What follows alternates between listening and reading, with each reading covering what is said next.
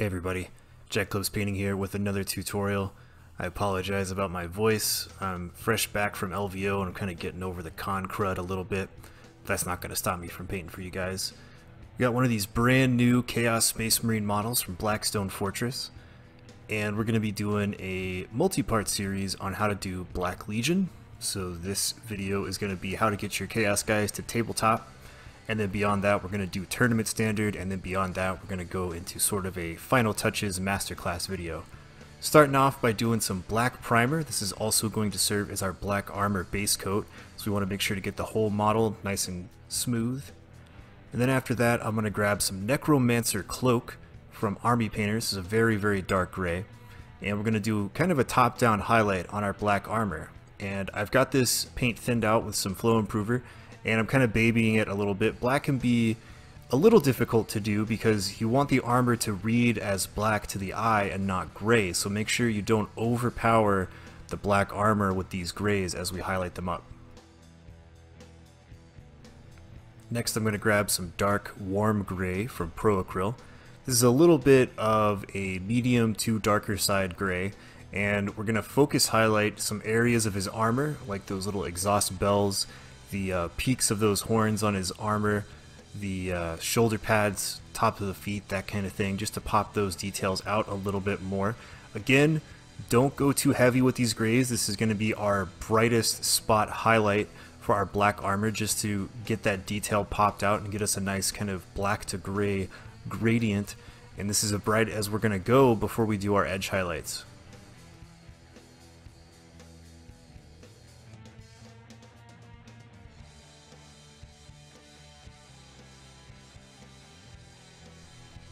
Next we're going to grab some burnt red, also from Pro Acryl. This is a nice dark maroon kind of red. And he's got some dangly cloth hanging off of his armor, and I really like the red and black color scheme that the Black Legion has. So we're just going to base coat this cloth with our burnt red. Make sure to take your time, do a couple of thin coats so that way the cloth is nice and smooth, and then we'll move on from there.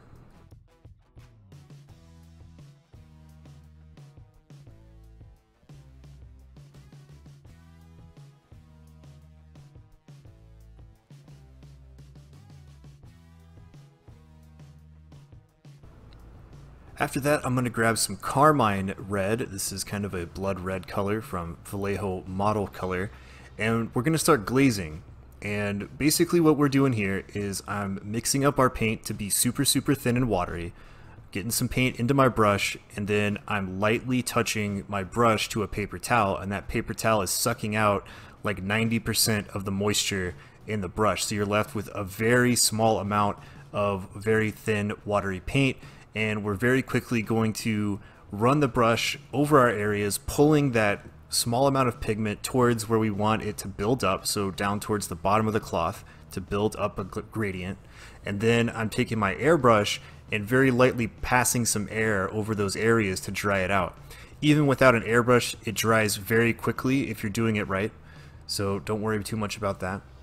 After a few coats of that, I'm going to grab some bold Pyrrole Red. This is a very bright fire engine red color, and we're just going to repeat the same step, except that I'm not going to cover the entire thing. I'm just going to do one quick pass over everything, and then with the subsequent layers, I'm going to be pulling that super thin watery pigment down towards the tip slash bottom of the cloth pieces, and it's going to take about three to four passes and again, in between passes, I'm hitting it with the airbrush to help it dry out really fast.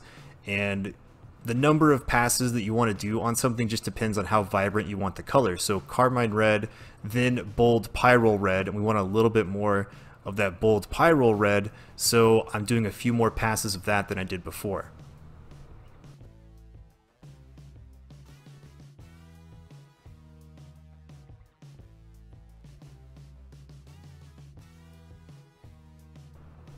Next we're going to grab some Agent Orange from Pro Acryl. This is a very bright, vibrant orange color and we're going to do a final little glaze highlight on our cloth and I'm only touching about the bottom quarter of that area so right near the bottom of these hanging cloth pieces and I'm doing the exact same thing getting a little bit of watery paint in my brush touching it to that paper towel so that it wicks away most of the moisture. So I'm just leaving a very, very thin, transparent layer of paint onto the model. And then between passes, I'll hit it with the airbrush just to get some air on there if I need it to dry out a little bit faster.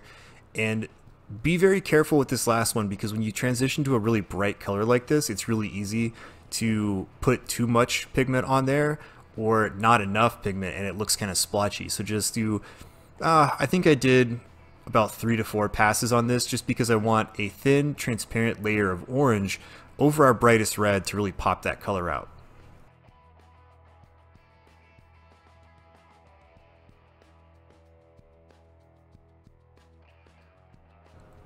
After that, we're going to do the uh, leather bits on the model. I've got some mahogany, which is a really dark maroon brown color. I really like this full-bodied brown color from Pro Acryl.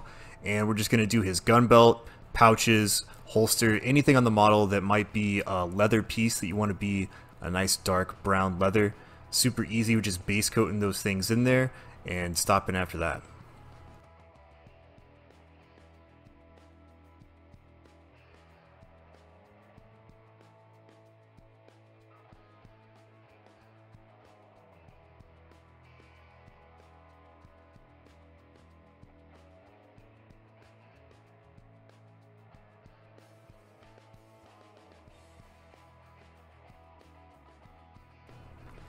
Now I'm going to grab some heavy brown. This is a game extra opaque color from Vallejo.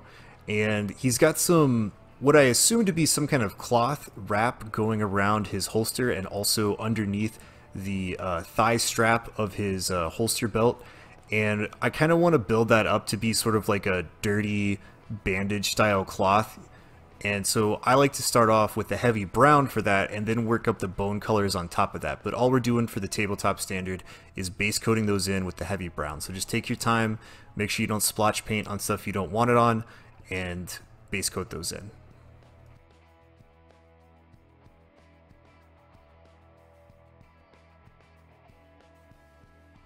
Now we're going to do all the steel metallics. I've got some black metal from Scale 75. You know how much I love this dark gunmetal steel color for 40k. So we're just going to pick out all the stuff that we want to be a steel color, focusing on his bolter in this clip right here, but you can see afterwards that I do all the joints because on my Chaos Space Marines I like the joints to be a metallic color and on my Loyalist Marines I like the joints to be kind of a black rubber color. Um, not exactly sure why, I just think it looks better. It almost makes the Chaos Marines seem a little bit more uh, outdated or older, like they're supposed to be, because they've been, you know, tromping around in the warp for who knows how long. So I like this kind of pre-heresy look for the uh, metallic joints and that sort of thing. So just base that stuff in, and then we're going to move on to the next step.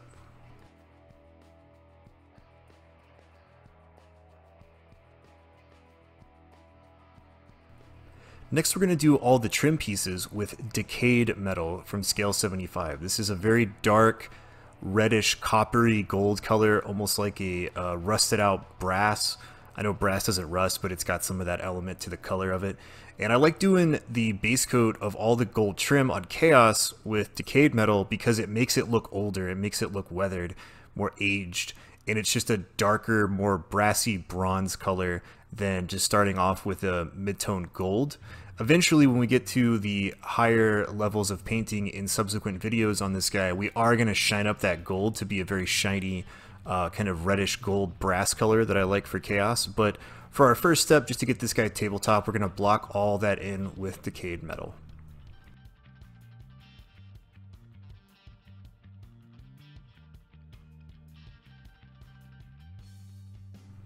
And he's ready for a wash, so I'm going to pull out the Army Painter wash system. I've got some dark tone, which is basically black wash, and some quick shade wash mixed medium, which is our medium for mixing up the Army Painter washes, and some flow improver. I'm not going to gloss coat this guy because I like my Chaos Marines to be a little bit more dirty and a little bit more dingy. But after applying the wash all over the model, I am going to clean up any big pools that start forming on the model. So as you see me apply the wash here, I'm going to be putting it over the entire model, slapping it around, making sure it gets over the entirety of the model and gets into all those details. And then I'm going to put some water in my brush and wick away the excess. so that way we don't have any big coffee stains anywhere, especially like his uh, big armor panels or his bright red cloth because we want that stuff to stay nice and vibrant. And another thing that I do uh, with the quick shade wash mixing medium, if it gets a little bit too thin, especially on models with tons of metallics, is while the wash is still wet, I'll actually come in with some pure dark tone and put those onto those metallic areas, such as his joints and his gold trim pieces to make sure I have a lot of contrast there.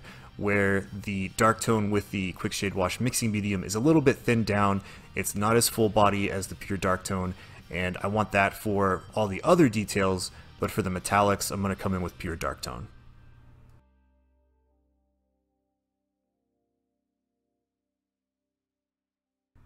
Here he is post-wash. All those details are starting to pop out. He's looking like a pretty clean model so far. But one thing I want to do before we do any more painting is go ahead and give this guy a matte varnish. With all these different paint brands and colors and the wash on there, there's lots of areas in the models with different finish and that that means is some areas are matte, some are shiny, some are kind of satin, and I want a uniform finish on this guy because the goal of this video is to get your Black Legion guys ready for the table.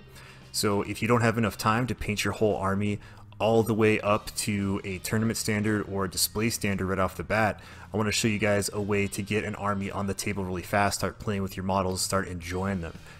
And here he is, the matte varnish is totally dry, so this is what he looks like at a tabletop standard. You've got all of your basic colors on there, a little bit of airbrush pop, a little bit of glaze pop on those pieces of cloth, and all you gotta do is stick him on a base and he's ready to go, and this also sets us up to be able to go up more levels into the tournament and to display levels. So make sure to check back next week, and I'll be doing those videos then.